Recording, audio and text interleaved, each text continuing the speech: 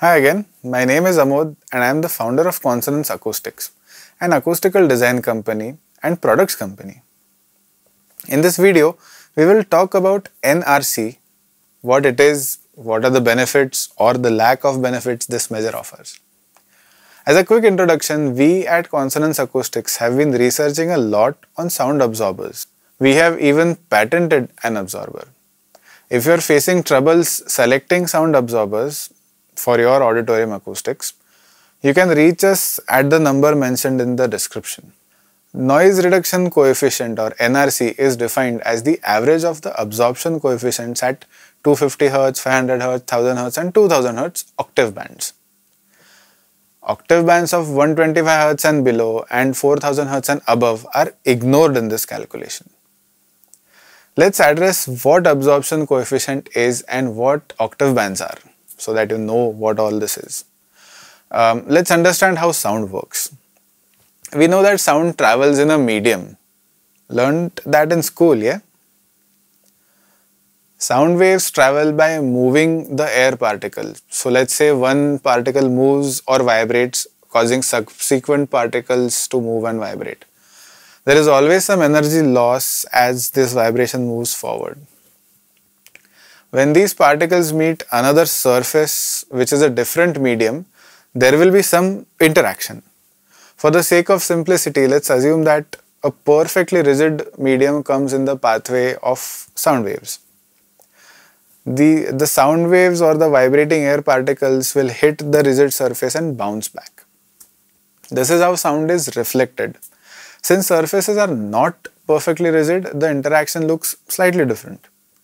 The incident energy gets transmitted, absorbed and reflected. That means the moving air particles will influence the surface particles. The hitting particles will push some particles off the surface. Those particles will then similarly influence adjacent particles. Some will move inside the surface and lose their energy while some will influence particles beyond the surface and this energy will get transmitted. Some particles will bounce back but now with reduced energy. The ratio of the difference between the incident energy and the reduced reflected energy by the incident energy is the absorption coefficient of sound. If the difference between the incident energy and the reflected energy is 0, the sound is completely reflected and the absorption coefficient is 0.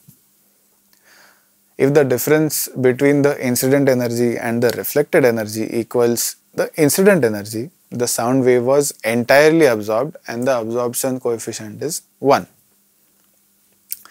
As an easier way to understand this maybe is through tennis courts. Let's talk about tennis for a while the great Rafael Nadal is considered the king of clay courts. The great Pete Sampras has never won the French Open, I think, not an expert on that. They are both great players, but their play styles are very different. Clay courts are the slowest courts. The ball loses its speed after bouncing, while on the grass courts, the ball does not lose its speed as much. It does not spin as much. And obviously, hard courts are the fast, fastest. Similarly, air reflects differently on different surfaces. An even better example is in the game of cricket. We played cricket with uh, rubber ball, cork ball, leather balls. Have you tried bowling a leather ball on a grass pitch? It will just not bounce at all. To bounce it properly, it needs a hard surface. But the rubber balls will bounce even on a pitch of grass their coefficients of bouncing, so to speak, are different. Imagine that you had to play a professional cricket match, but the curator said we will have the pitch and the ground covered with grass. That game cannot be played with a leather ball. You need a different surface for the pitch so that the leather ball can bounce. Similarly, you cannot have a material that only absorbs high frequencies and does nothing to the low frequencies in the context of auditorium acoustics. To understand why there has to be a balance in the absorption, click on the I button to watch the video about how to improve speech clarity in an auditorium. I do not know the motivation for introducing NRC as a measure. I did not care to find out who introduced it. Another issue I have with it is the name which is quite misleading. Whereas it is a measure of uh, sound absorption in a space, it does not guarantee that noise will be reduced. It is unnecessarily misleading and people end up designing incorrect acoustics for their auditoriums or spaces. Now that you know what NRC is, you can put it to better use to deal with the material suppliers and ask for a frequency distribution of the absorption coefficients.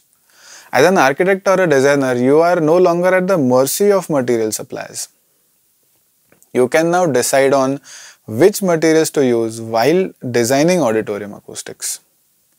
If this video has helped you, please press the like button, comment your questions below and subscribe to our channel to be updated about such videos.